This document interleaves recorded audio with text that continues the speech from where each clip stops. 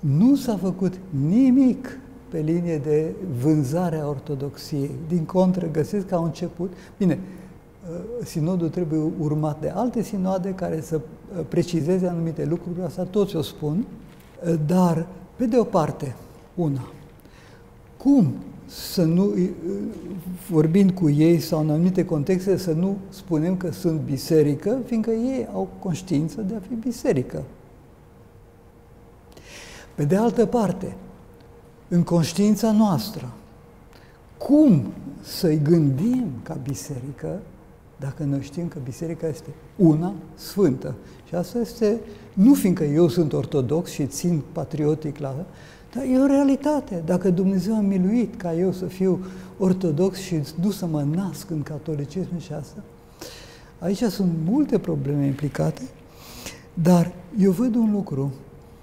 Dacă vă uitați bine, mai ales în Vechiul Testament, de-a lungul Vechiului Testament, Dumnezeu face, își dă mii de astfel de pogorăminte, da, pogorăminte. Prin pogorământ îi numim și pe ei biserică. Dar conștiința noastră dogmatică nu trebuie să scadă. Astea sunt două lucruri și asta e tipic de viața în Dumnezeu, antipozi, uh, cum se cheamă, antinomii. Dacă suntem prea rigoriști, l-am pierdut pe Dumnezeu.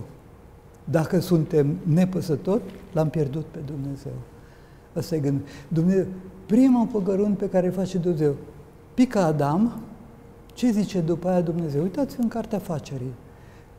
A, Adam a devenit ca unul dintre noi, că i s-au deschis ochii și cunoaște binele și Pe cum a devenit ca unul dintre ei, când tocmai s-a despărțit de Dumnezeu Adam?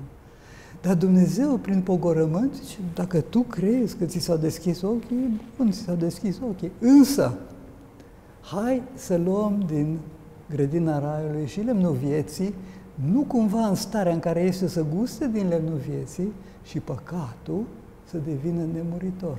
Deci, n-a devenit ca unul dintre noi, dar prin pogorământ. Și pogorăminte de asta, vezi, de lungul Dumnezeu vorbește limba omului, pe înțelesul omului și de cele mai multe ori face pogorământ față de neputința omului, să împărtășească cât de cât ceva de unde să-l poate ridica ceva mai sus, ceva mai sus, până la îndumnezeire. Așa că râvna noastră să nu fie una ca talibanilor,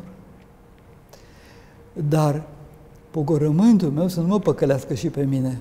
Cum zice gluma aia, că am făcut pe prost și m-am trezit că asta și eram. Dar nu e cazul încă să ne despărțim. Eu am, am văzut acum, l-am cunoscut îndeaproape pe înalt prefințitul Teofan, pe care foarte mult l-a lăudat.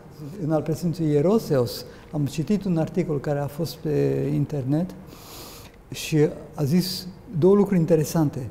Biserica română, în special, a vorbit mai multe lucruri, dar în special Biserica română a fost foarte bine pregătită, toți s-au uimit de cât de bine a fost pregătită. Uh, al doilea lucru, uh, patriarhul nostru Daniel, departe de a fi un ecumenist, a fost coloana vertebrală a ortodoxiei în acest sinod, unde riscau tot felul de lucruri. Uh, și cred, așa cum am și auzit, că nu este altul care, ca prefericitul Daniel, poate apăra biserica noastră în zilele noastre. Și în același articol, în al președintelui Roseus, avea cuvinte mai puține, dar nu de mai puțină laudă față de înalt presimțitul Teofan. Nu e cazul să ne despărțim de ei acum.